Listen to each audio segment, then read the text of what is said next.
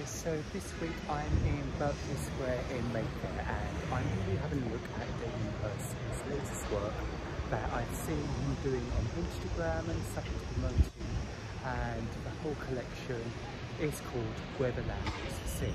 It's inspired by him taking walks in the winter through British coastal uh, towns. Uh, that's what I've heard, but let's go have a look and find out what it's actually like.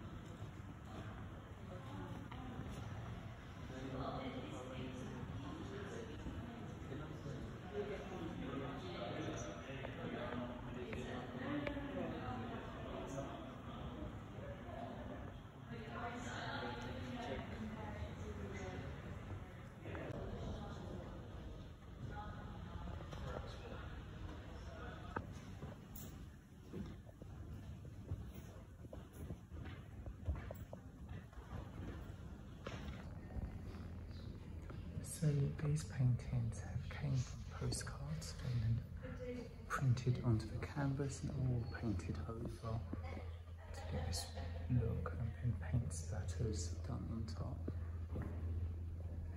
Making this beautiful sea series which I really like because it's actually showing the skill of Damien Hirst's artwork where everyone thinks, or when I speak to people they say he can't paint but this just shows he can which I've seen in his famous blue paintings in the Wallace collection very many years ago, but I'm so happy to see these again in this style and doing oils again.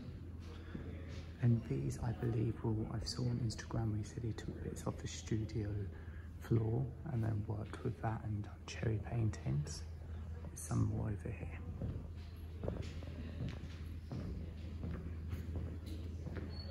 That was what you created with when you come in.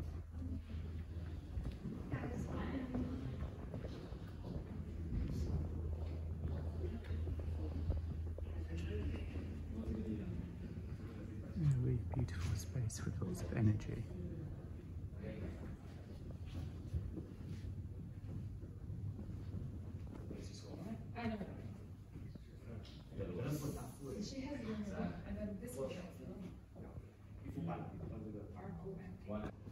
What I really love is like there it's a painting and there's a painting but traditional sense and then with the famous splatters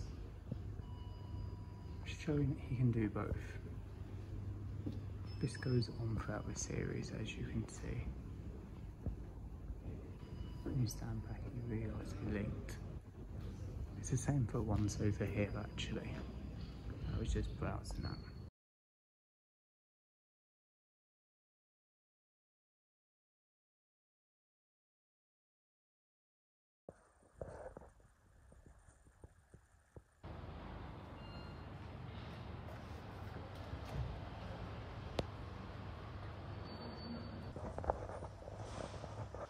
Well, I'm not going to lie, that was truly mesmerising. I've not seen something like that since uh, Hirst has done the Wallace collection with his blue paintings, and there is photorealism going on here with oil paintings, his traditional splat techniques that we know is very kind of Jackson Pollock.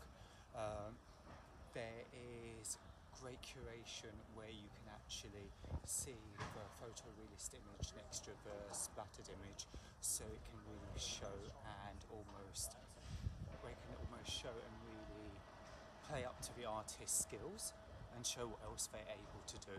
I also uh, really just loved the actual space as a whole and the paintings in there took a series of three years to actually do speaking to the person that worked in there what I really did like about the items was that well that they just had a good mixture. You had the floor from when he was doing the cherry paintings, and when he started to seascapes, and when he started to splatters after photorealism, and it all just kind of came together.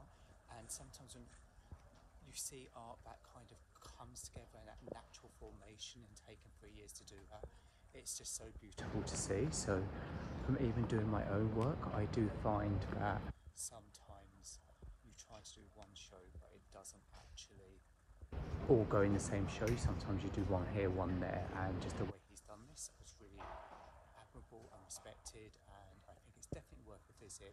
It's going on into kind of midish August, as you saw the dates were on there, and I definitely say it's one worth having a look.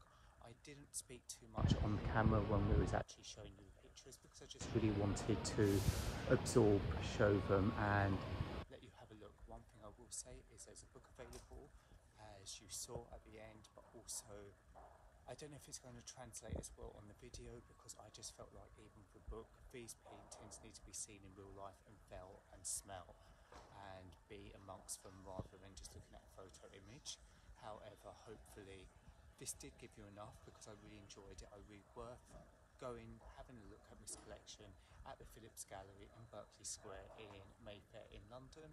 And thank you so much for watching and until next week. Bye bye and thank you for keeping up with me when I missed a video as well.